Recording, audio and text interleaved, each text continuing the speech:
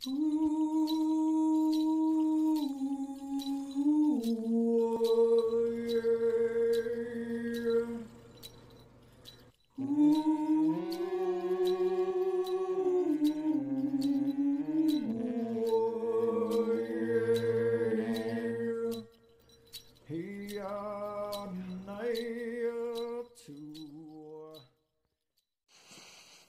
a couple of basic kicks.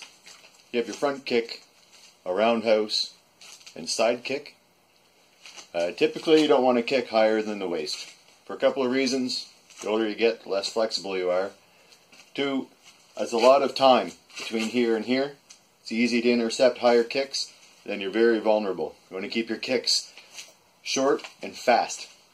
Same idea with uh, coming back twice as fast with your with your strikes. It's the same with your legs. Uh, so your first one I'm going to cover is the roundhouse. So that's not a spinning.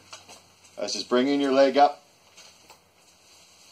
rotating your hips, snapping your leg out, pulling it back, and rotating back to your line one.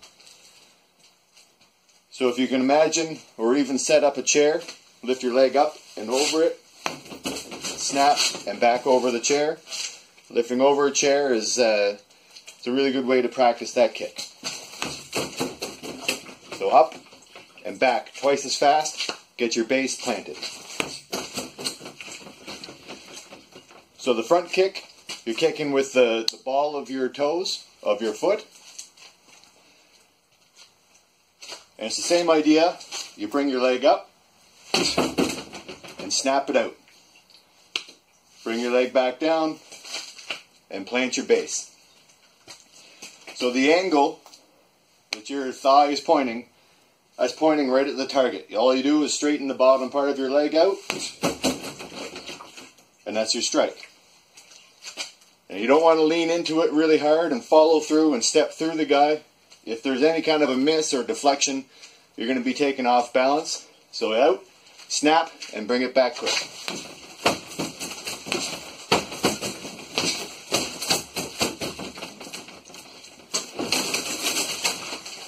So your other kick is your side kick. And this sort of breaks the rules a bit because you are turning sideways as a side kick. So your lines are pointing this way and your strike is going this way. And you can do cross steps to get to bring it in closer or just throw it from where you are. But it's your lead foot that's doing the side kick.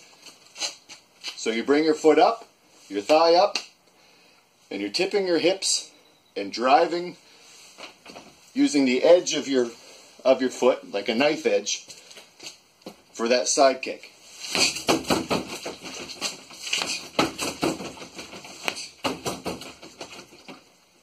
Bring it out and back twice as fast.